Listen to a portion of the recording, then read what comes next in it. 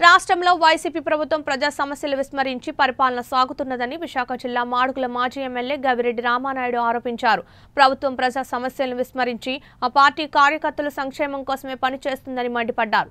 రాష్ట్రంలో రోడ్లు అధ్వానంగా ఉన్నాయని దీంతో రోడ్డు ప్రమాదాలు జరిగి అనేక మంది కుటుంబాలకు దూరం అవుతున్నారని ఆవేదన వ్యక్తం చేశారు. ఈరోజు వైఎస్ఆర్ ప్రభుత్వానికి గడ్డు రోజులు వచ్చాయి. అదేవిధంగా పత్రం కూడా స్టార్ట్ అయింది అన్నది చంద్రబాబు నాయుడు కూడా తీయకుంటారు ఈనాడు కనీవిని వెలిగిన విధంగా భారతదేశ చరిత్రలోనే అత్యధిక మెజార్టీతో చివరకు ప్రజలందరూ కూడా వందకు వంద శాతం కూడా వాళ్ళ వైపే ఉన్నారు అనే విధంగా వచ్చినటువంటి పార్టీ వైఎస్ఆర్ పార్టీ అధికారులకు వచ్చింది. అయితే అతి తక్కువ కాలంలోనే ఈ పార్టీ కూడా పత్రం కూడా అదొక రికార్డు. ఎంత వేగంగా అయితే వచ్చిందో అంత వే అంతే వేగంతో మళ్ళీ తిరిగి వెనక్కి వెళ్ళినటువంటి ప్రభుత్వం. ఎందుకో ఈ మాటలు అంటున్నాం అంటే ప్రజల్లో ఒక అసహాయత.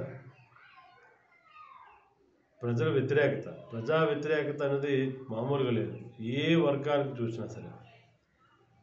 అటు మందు అలవాటు ఉన్న వాళ్ళకైనా లేదు నిత్యావసర వస్తువుల ధరలు పెరుగుదల విషయంలోనైనా లేదు పెట్రోలు డీజిల్ పెరుగుదల విషయంలోనైనా అదేవిధంగా ఆర్టీసీ ఛార్జీలు పెంచామనా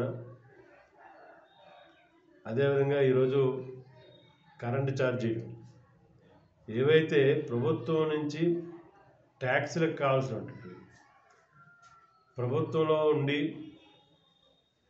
అటు సంపాదన లేక ఆదాయం లేక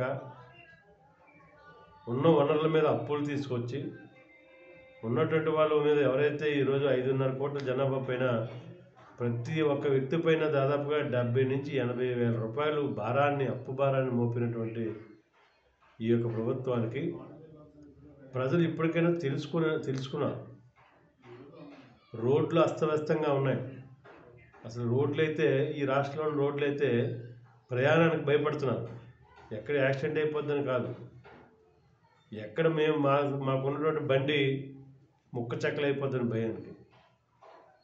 ఈ విధంగా అనేక రకాలుగా ఈ ప్రభుత్వం ప్రజల్ని విసిగి వేసారించే కార్యక్రమం ఈరోజు వైఎస్ఆర్ ప్రభుత్వం